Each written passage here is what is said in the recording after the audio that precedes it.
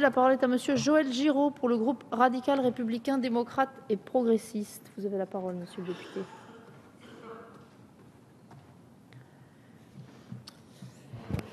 Madame la présidente, madame la ministre, monsieur le rapporteur président, monsieur le président de la commission des affaires économiques, madame la rapporteure pour avis, chers collègues, alors que la télévision numérique terrestre s'est peu à peu imposée sur le territoire national, avec fin 2011 l'arrêt de la diffusion en analogique, l'évolution des technologies a avancé d'une manière telle qu'il nous faut aujourd'hui revoir le mode d'accès aux services audiovisuels. L'ancrage de la TNT ne pourra se faire réellement sans une modernisation du système. En effet, depuis le lancement des services d'internet mobile et l'arrivée des smartphones et des tablettes, les réseaux mobiles parviennent à saturation. Cette proposition de loi permet pour cela la libération de nouvelles fréquences et le groupe de RDP adhère à ces objectifs servis par un calendrier serré, mais qu'il importe de tenir. Certains ont pu regretter le fait que ce texte, qui est une proposition de loi et non un projet de loi, n'ait pas été soumis à une étude d'impact financier ou industriel. Je comprends leurs préoccupations, mais, mais l'adoption d'une telle proposition de loi ne saurait être mise en cause tant il est nécessaire de favoriser le tout numérique et de ne prendre aucun retard en la matière, car ce sont les emplois en France qui sont en jeu. De fait, outre la France, plusieurs pays européens, on l'a dit, ont déjà annoncé leur intention d'affecter cette bande aux services mobiles. Ainsi, l'Allemagne a déjà engagé des procédures de cession de la bande et les enchères se déroulent en ce moment même. Le Royaume-Uni a de son côté récemment achevé une consultation approfondie relative aux conditions de transfert de la bande de 700 MHz et un fonds de 600 millions de livres sterling a été annoncé par le gouvernement afin de couvrir les dépenses de communication et de changement de fréquence nécessaires pour libérer cette bande. Aux Pays-Bas, les autorisations existantes dans la bande 700 MHz s'achèvent en 2017 et le gouvernement a laissé entendre que la procédure d'enchère pourrait être enclenchée en 2019. Bref, il est nécessaire que l'ensemble des États membres de l'Union européenne engagent le mouvement à des dates relativement proches, et ce afin de bénéficier pleinement de l'émergence d'un marché unique numérique que la Commission souhaite promouvoir dans le cadre de sa stratégie numérique présentée le 6 mai dernier. La France est donc en avance au sein de l'Union européenne, et il importe de préserver cette avance. Ainsi, dès le printemps 2013, pour pallier les 60 d'augmentation annuelle observée ces dernières années du trafic de données mobiles au niveau mondial, le chef de l'État avait annoncé sa volonté d'attribuer au secteur des télécommunications la bande de fréquence dite bande des 700 MHz. Aujourd'hui, les bandes de fréquence affectées à la TNT sont comprises entre 470 et 790 MHz. Il s'agit donc d'attribuer une partie de ces fréquences aux opérateurs de réseaux mobiles afin de généraliser la norme de compression pour la diffusion de la TNT. L'enjeu est de taille car il s'agit de soutenir le développement de services mobiles à très haut débit sur le territoire national. La couverture intégrale du territoire national se heurte cependant encore à la réalité des faits, puisque certaines zones blanches existent toujours. Il s'agit là d'un problème récurrent auquel cette proposition de loi peut répondre.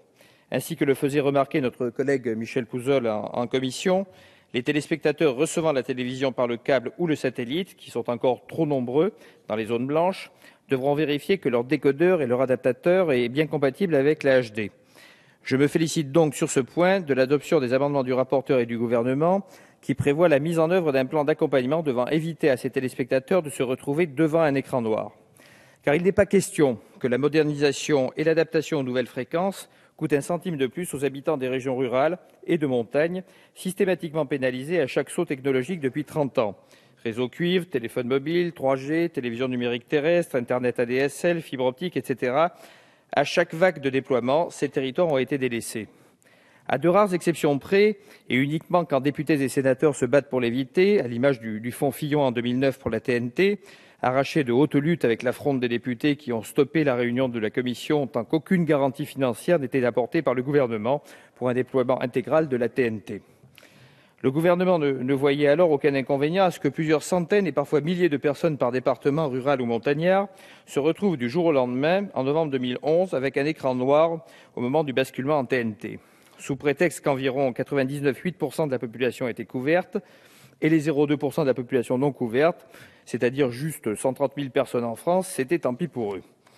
À chaque fois, les mêmes questions se sont posées, de belles promesses ont été faites, mais les mêmes oublis se sont répétés avec, il est vrai, quelques exceptions territoriales, là où certains ont leurs habitudes en termes de villégiature.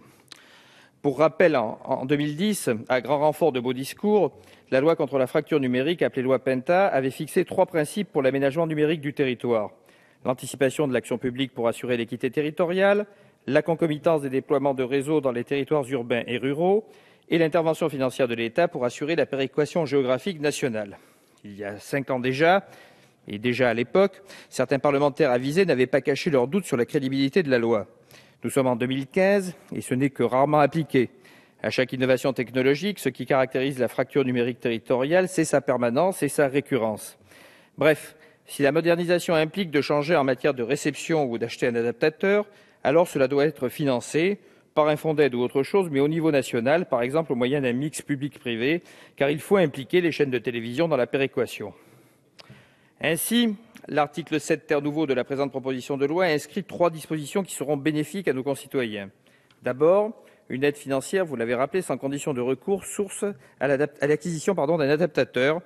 Le nombre de foyers susceptibles d'être éligibles à cette aide a été estimé à près de 450 000. Ensuite, une assistance technique gratuite destinée aux personnes âgées et handicapées. Enfin, une campagne nationale de communication sera organisée à partir de novembre 2015 afin de garantir aux téléspectateurs une parfaite information. Je note par ailleurs que cet article 7 terre nouveau renvoie à un décret d'application dans le respect du principe de neutralité technologique. Le groupe 2RDP sera particulièrement attentif au contenu de ce décret afin que nos concitoyens dans les zones rurales et de montagne puissent bénéficier de ces aides. Autre évolution importante de la proposition de loi, réalisée grâce aux travaux en commission, que je tiens à souligner, la réaffirmation de l'obligation de diversité des opérateurs. Cette obligation est d'autant plus un gage d'offres diversifiées en matière de TNT que les éditeurs doivent démontrer, pour l'obtention de l'attribution d'autorisation, leur volonté réelle de développer de véritables projets en TNT. Le rôle du CSA sera donc ici central pour assurer le développement d'une TNT dotée d'un contenu de qualité. La performance technologique facilitée doit en effet pouvoir s'accompagner d'une offre qualitative en matière de programmation des chaînes de la TNT. Pour conclure, euh, le texte qui nous est présenté aujourd'hui est un texte d'équilibre. Il permet d'assurer le développement du très haut débit mobile tout en garantissant à nos concitoyens de bénéficier de la continuité de la réception télévisuelle avec une qualité accrue du son et de l'image.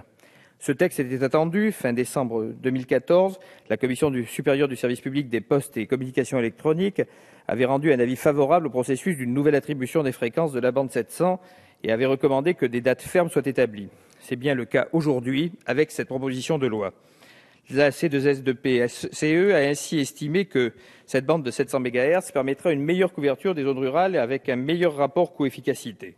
De fait, estime la commission, l'utilisation de ces fréquences permettra de réduire le nombre d'émetteurs sur le territoire.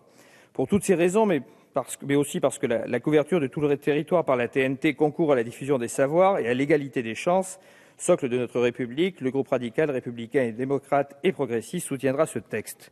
Mais comme je vous l'indiquais, il ne tolérera plus aucune entorse dans son application à l'équité territoriale, s'agissant notamment des zones rurales et de montagne, là où la télévision numérique prétendue terrestre a dû sa survie, quel paradoxe, au satellitaire. Merci, monsieur le député.